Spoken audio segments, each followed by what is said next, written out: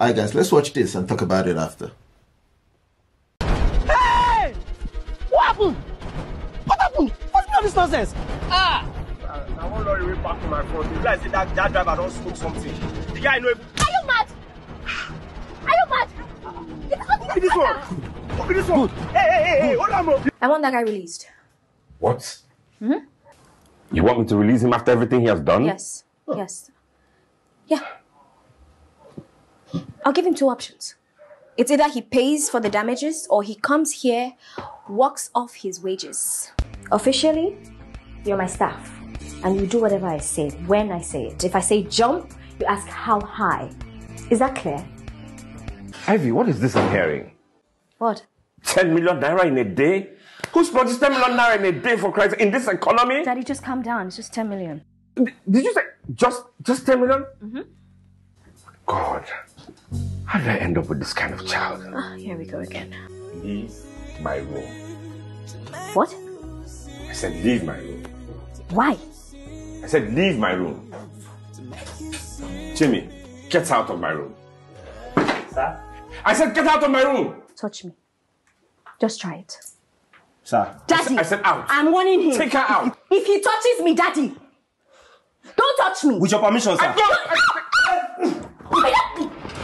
Come on, God. One arm. I don't tell him. Me, I go beat him. I go. I don't. Ah! Jamie! Ah! Jamie! Ah! Jameson, I am willing to give my daughter's hand in marriage to you. What?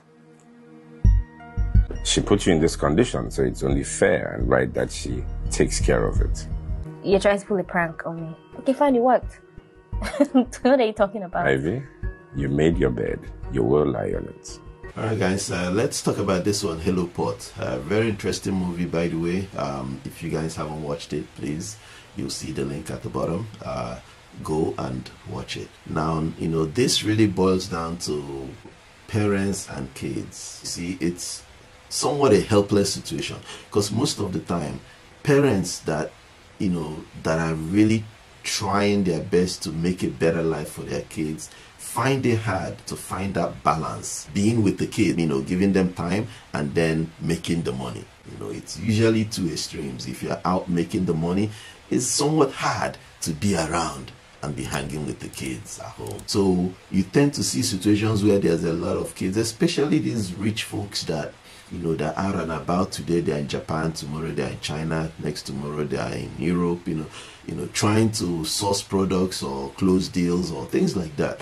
You know you tend to notice that they're hardly around you know. Months and months might go by and they have not even seen their kids uh, you know. And stuff like that sometimes get to kids especially when there's also no video calls. You see this time and age there's definitely a lot of ways to kind of curb that situation you know but most of the parents technology is not really a thing you know. If it is then definitely you have to apply it. Even if you're far away you should be able to do video calls here and there you know you know and definitely still keep them up to par you know. Oh i'm doing this. Oh how was school today? You know tell me about it. You know that's definitely something that can bridge the gap. So but before i really dig- digress into solutions uh, the problem here boils down to you know when the parents are not around the kid grows up feeling left alone feeling that little resentment of you know not having uh, the parents or you know her parents around.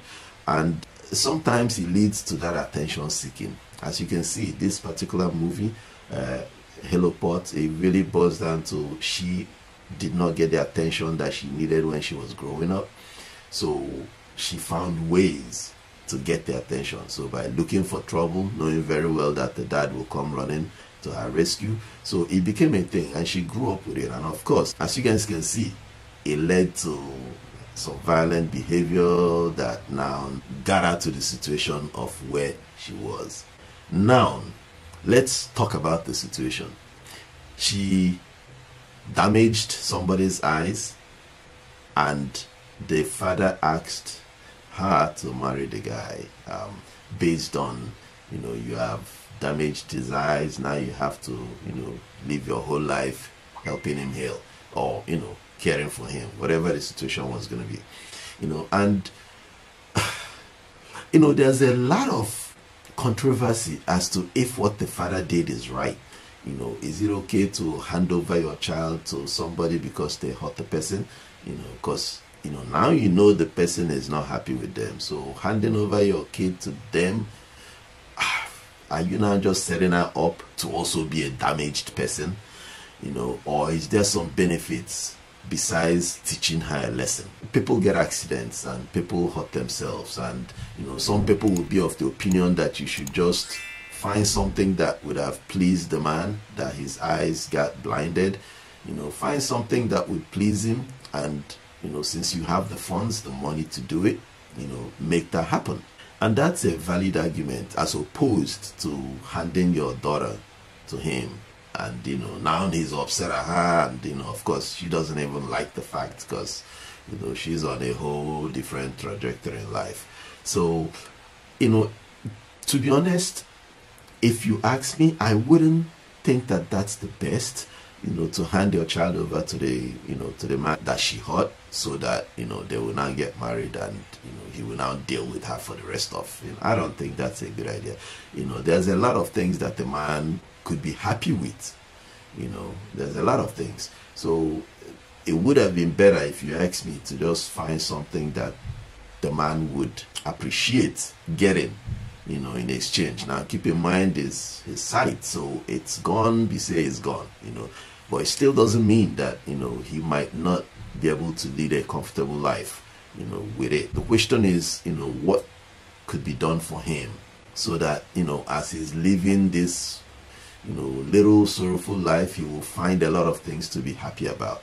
And I think there is. So, you know, in my own opinion, I wouldn't have supported the fact of handing over the daughter to the man. Sometimes he might end up bad. The man might actually really maltreat her so much. He might drive her crazy, lead to death, whatever the situation may be. So I wouldn't really recommend that. But, you know, in this life, people make choices. And sometimes, you know, it's like what they say in Igbo is... Uh, uh, you know everybody carry their own the mind is like a bag and everybody is carrying their own so uh, you know essentially he did what he felt was right you know upset at the daughter upset at the situation and everything you know and yes he did end up well but you know maybe if i'm to advise i wouldn't i wouldn't take the option of handing my daughter to um, you know a man that she hurt you know to go and marry you know, i wouldn't pick that option but of course you know um, it is what it is. So guys, if you've not watched this movie, definitely go and watch it. If you love this kind of content, please like, share, subscribe, follow. This is CJ from Mcnnadi Studios and I'm here to deliver sense.